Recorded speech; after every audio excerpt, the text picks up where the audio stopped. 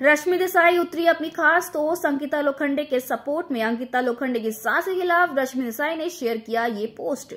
Big boss सत्रह में इस समय फैमिली वीक चल रहा है, जहाँ पर सभी घर वालों के परिवार वाले उनसे मिलने आ रहे हैं। इसी बीच जब अंकिता की सास घर में आई तो उन्होंने अंकिता से साफ़ साफ़ कह दिया कि अपने शब्दों पर ध्यान दो और इस तरीके से लड़ाई झगड़ा मत करो। जब तुमने विकी को लात मारी थी तो तुम्हारे ससुर ने तुम्हारी माँ को कॉल किया था और ये कहा था कि क्या आप भी अपने पति को ऐसे ही लात मारती थी, जिस पर अंकिता लोखंडे गुस्सा आता है क्योंकि अंकिता लोखंडे के पापा नहीं है। ये बात उन्हें नहीं करनी चाहिए थी, ऐसा अंकिता ने कहा। बाहर दिए गए इंटरव्यूज़ में भी अंकिता लोखंडे की जो सास है वो यही कहती हुई नज़र आ रही है कि हम इस शादी के खिलाफ थे, हम तो चाहते ही नहीं थे ये शादी हो। विक्की ने ये शादी करी।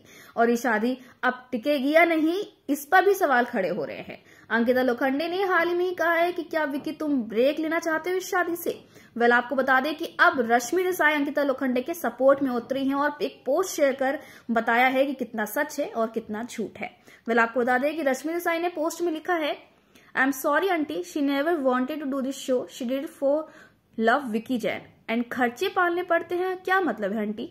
They both had love marriage and उससे पहले भी वो रोड पर नहीं थी। She is Ankita Lokhande. भले ही बिग बॉस आपके बेटे पर पैसे लगाए, लड़की हमारी भी खरा सोना है। सबकी अपनी लड़ाई होती है, पर आप नहीं चाहती हैं इनकी शादी टिके? हर पति पत्नी में लड़ाई झगड़े होते हैं और शो भी डिफ़िकल्ट है। दो दिन में आपके ये हाल है। चार महीने निकालेंगी तो आप तकलीफ़ समझ पाएँगी? आपकी इज़्ज़त करती हूँ, हमेशा करूँगी, पर यहाँ आप गलत है। रश्मि देसाई के इस पोस्ट से साफ़ ज़ाहिर हो रहा है कि किस तरीके से यहाँ पर अंकिता लोखंडे की सास ने इंटरव्यूज़ में जिस तरीके से बातें करी अंकिता को लेकर, वो कितनी गलत है। वेल अभी शादी टिकेगी या नहीं, ये तो इनके घर आने के बाद ही पता चलेगा जब ये घर से निकलेंगे। लेकिन फ़िलहाल क्या आपको लगता है कि अंकिता टॉप टू में आना डिजर्व करती है?